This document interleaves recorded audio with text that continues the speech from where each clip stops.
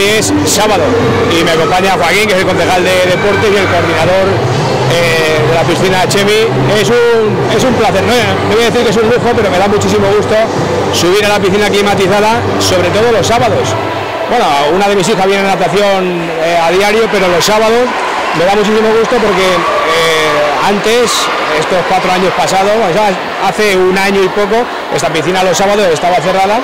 Dijimos que la abriríamos los, fines de semana, correctamente los sábados, para que la gente disfrutara de ella y bueno, eso ya lo cumplimos hace tiempo, pero también combinamos de vez en cuando pues lo que hoy podemos ver aquí.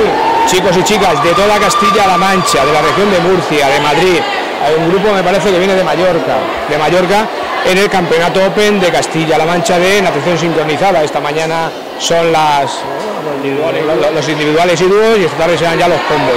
Por lo tanto, en Villarrobledo yo creo que es importantísimo tener citas como esta y esto se hace teniendo buenas instalaciones como la que tenemos. La piscina climatizada de Villarrobledo es una gran instalación que, bueno, pues que no se les acaba el rendimiento y tengo que agradecer primero al concejal de deportes que bueno, está desarrollando una labor impresionante en, todos los deportes, pero concretamente en la piscina, que es un servicio muy sensible, y sobre todo a los coordinadores, aquí está Chemi, bueno, para los coordinadores que tenemos en esta piscina para que, para sacar el máximo rendimiento.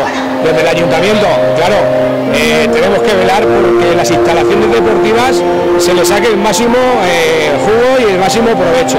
Y para nosotros, para Villarruedo, que somos de las ciudades más grandes de Castilla-La Mancha, lo que tenemos que hacer todos los días es eh, ponernos en el mapa. Es decir, que la gente hable de nosotros por cosas buenas.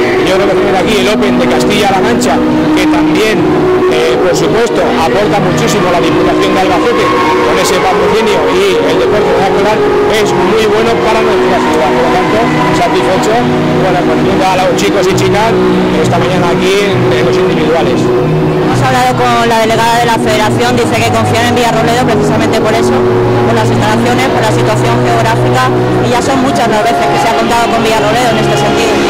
Claro, si es que es la pescadilla que se muerde la cola. Si cierras instalaciones, si eh, despides a profesionales, despides a trabajadores municipales, si entras en esa arruga del bote donde nos metió Valentín Bueno, la gente al final eh, no confía en la ciudad. Tienes que abrir servicios, tienes que mejorar servicios, tienes que, en la medida de lo posible, contratar profesionales.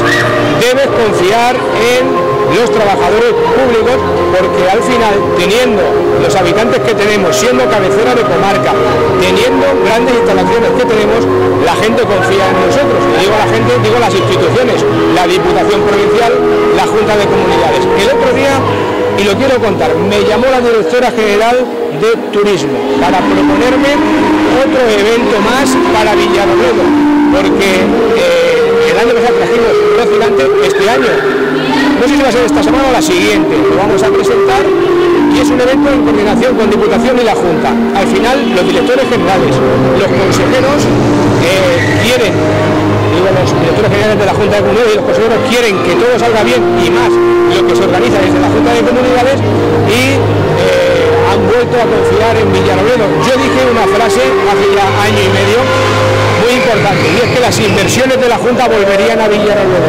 volverían las inversiones de la Diputación, pero también algo imprescindible en política y para nuestra ciudad, eh, que volvería la confianza de otras administraciones, como pueda ser la Junta de Comunidades y la Diputación de Albacete a nuestra ciudad.